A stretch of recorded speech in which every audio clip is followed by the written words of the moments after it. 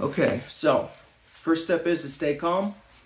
Go ahead and get someone to put pressure on whatever is bleeding on your on your patient, on your loved one, on your patient. If there's no one else with you, go ahead and put your knee and kneel down on that on that wound. It's gonna hurt them, but you gotta slow that bleeding somehow. But just get pressure on it one way or another. While you're getting that done, um, you gotta get pressure on there. Once you got that handled, go ahead and get your tourniquet. Open it all the way up. If you got plastic on it, rip open the plastic. Get your tourniquet just all the way opened up, Velcro all open. Take the very end and the other very end, and we're gonna feed it through the very end of this buckle. The tip of this tail goes through this buckle and Velcro's on. Then you can put it wherever you need it. Um, we'll say it's in the arm, but it works the same for the leg. Get it up as high as you can go. Unclip this, and you'll have two hands to do this if you're doing it for somebody else or yourself with your leg. And just uh, cinch it down. And then once you think you've got it cinched down, cinch it down even more. I like to at least do kind of two cinchings on it. All right, we got that Velcro secure as far as we need to go. We get this rod here, we'll talk about that in a minute, and we're just gonna spin. That's one. We're gonna spin around again, two. At that point, check and see if you got any bleeding. Check and feel for a pulse if you know how to do that. Um, and if it's still bleeding, go ahead and give it another spin. If, if it's still bleeding after that third spin, go ahead and go back a step and re-cinch this down tight, tight around that arm. And it's okay if the sleeve's in there. As long as it's like a small sleeve, not like a big fat jacket. But uh, okay, so you say you spun it two or three times. Uh, that bleeding is stopped. Perfect. The windlass is going to be retained in here. All we're going to do is trap it with this little piece of Velcro here, and that's it. You can you can calm down a little bit now because you've got uh, you've got time at least on that particular wound. Um, just make sure it's still not bleeding. If it is bleeding, even though you know you applied this properly, you've done it three turns, maybe even a fourth turn after you've re-cinched it down and you still got bleeding, go ahead and put a second tourniquet on there. It's more common with legs, but you may need a second tourniquet on arms and try to put it above the first one if you can. So that's kind of the goal there. If you have a minute um, and a Sharpie, which you probably won't, uh, go ahead and write the time down. Um, do not remove the tourniquet. Leave that on there for the surgeon to make that decision because he's got to go in there and fix whatever whatever vessels were, were cut or shot or, or ripped open. So um, leave it closed and always carry at least two tourniquets for the very reason I just said. You may need two. That's not even including if someone's gotten hit in multiple limbs. So go ahead and get this done. Start start addressing other life-threatening issues.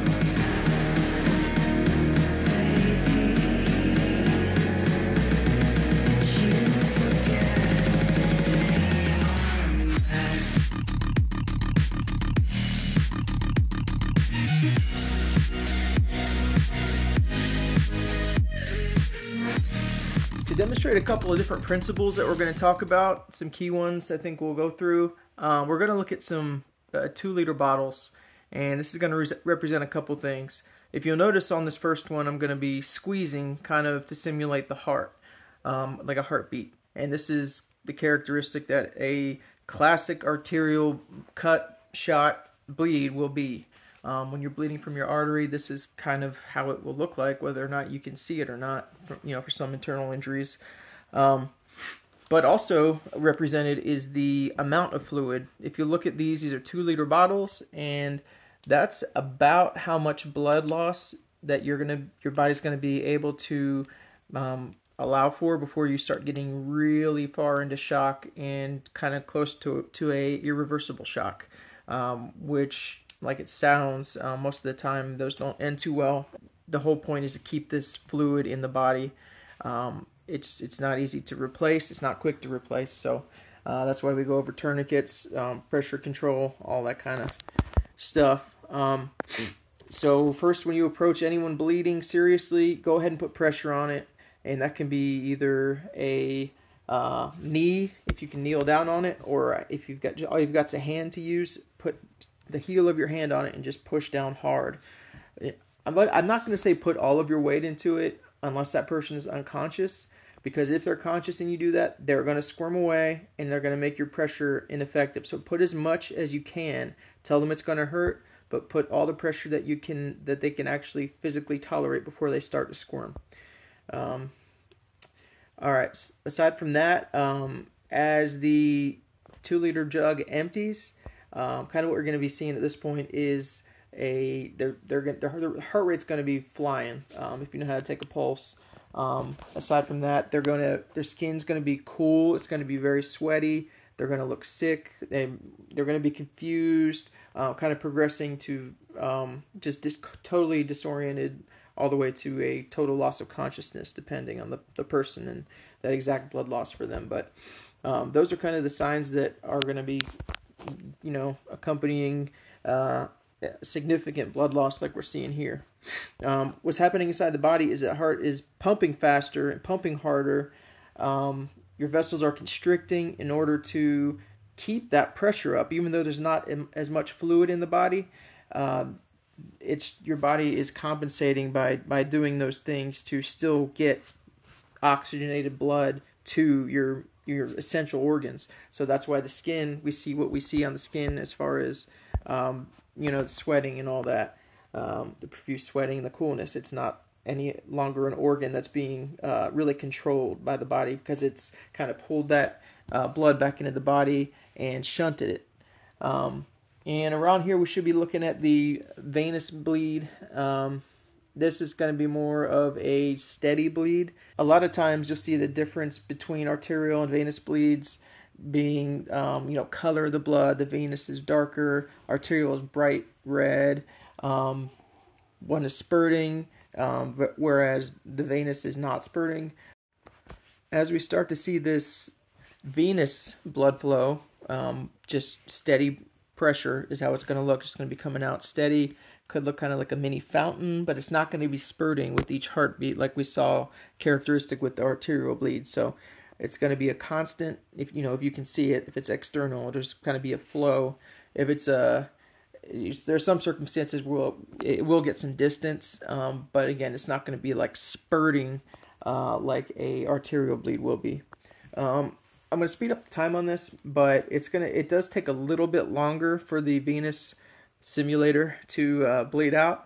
So uh, just keep that in mind. It's not that much longer though. It was within about a minute to two minutes, um, which you know that is realistic. If if a uh, gunshot or, or something like that were to hit a major artery, um, that's actually a pretty realistic time. Just a few minutes you might have. So. Um, that's why it's, so important to be prepared, know how to control bleeding, just get that you know that first step going, pressure, direct pressure. Give yourself a second to think, and then you can think of moving on to the next step. In this video, we're gonna kind of focus just on tourniquets, but other videos will will add some things for chest injuries and head injuries specifically.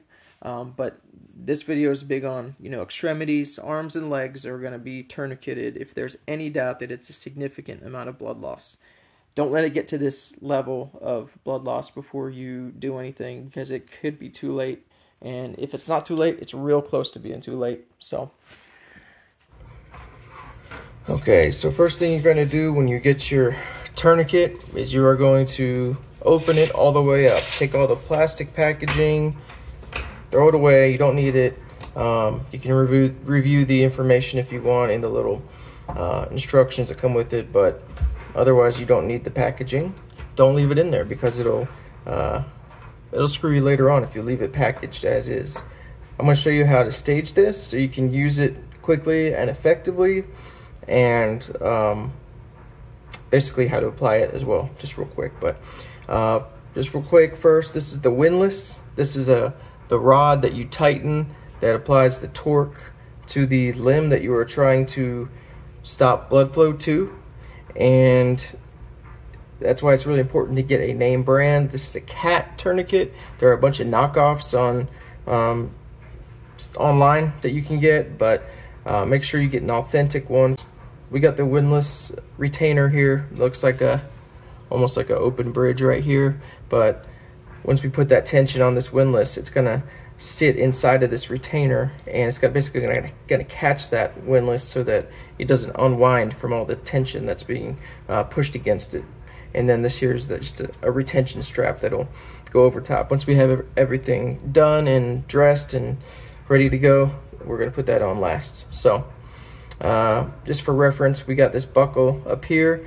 Uh, we got this kind of back plate right here and I like to place it like this in the palm of my hand, my weak hand, and I'll let my strong hand kind of do the rest of the work, but just leave it like this in your hand, the buckle on top, um, this plate on bottom, and all we're gonna do is make three folds. So the first one's just gonna come off the bottom right here, start right there, and we're gonna just gonna roll it all the way up to the top like that, and kind of make it even-ish with that top, top buckle. Right about there is where I did mine, pretty close. And then come back down. And that's our first fold of three. So come back down to the same spot we went on the first one. Then on the second one here, same. We're gonna come up to that same spot that we picked out on the buckle. And then on our last one, we're gonna do the same exact thing and we're gonna be left with this little bit of a tail right here. And all we do with this tail is feed it through this buckle like that and then that just comes around and basically locks everything into place and retains it with that velcro securement right there. So that's how I like to stage them um, staging it like this has come in handy for applying it to other patients throughout my career and I've also self-applied one that saved my own life um, and this is how I had it staged so I highly recommend staging it like this it's almost ready to go. Um, it is ready to go. All you got to do is um, pop this loose and then the rest just kind of opens up and you can put it on whatever limb you need to um, and then secure it on. And now the absolute least important part of this video, my qualifications and credentials. I don't think these really matter for this, but I'm told they do. So I'll go ahead and cover them real quick. So I was a professional firefighter for well over a decade. Half of that time I spent as an EMT, half of that time I spent as a paramedic. I got to place hundreds of tourniquets in practice and training. I've placed a small handful on real life actual patients in the field, and I self-applied my own tourniquet once to save my own life. I was a CPR first aid instructor, a stop the bleed instructor, as well as a lead instructor at the fire department um, where I got to train recruits and I also got to uh, help with field training for firefighters that were, that were already in the field. I've taken classes like TECC and TCCC, which are just tactical care classes. One is just for kind of civilian based, and the other one is more combat based, but either one, both are awesome classes. I'm also an author and have a brand new book out called Rules for Thee. It's available on Amazon. I'll link it below. But you can also just go to Amazon and search for rules for thee, and that's T-H-E-E, and it should be the first thing that pops up.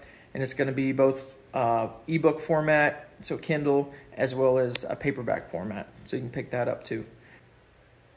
The book is geared towards a modern protector mindset and heavily based in our innate right to self-preservation.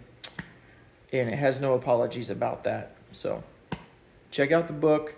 The subtitle is a little bit sassy for this video because I want this video to go as, you know, as far and wide as it can go. So aside from the tourniquet information in this video, the other important aspect of this is that you have a tourniquet. So use the information I am giving you or other people have given you, but use that information, but also buy tourniquets. Get at least two tourniquets. I'm going to link them below. I'm going to link the, my favorite life-saving tourniquets that have actually saved lives and my own life. So I'll link those below for you. Aside from that, I also have a apparel line that is available. I'm going to put the link down below. It's called The Rules for Thee Collection. It's some pretty funny stuff. Check it out. Aside from that, thanks for giving me the chance to entertain at least and hopefully educate some. Please share the video with people that you don't want to bleed out and die. Thanks.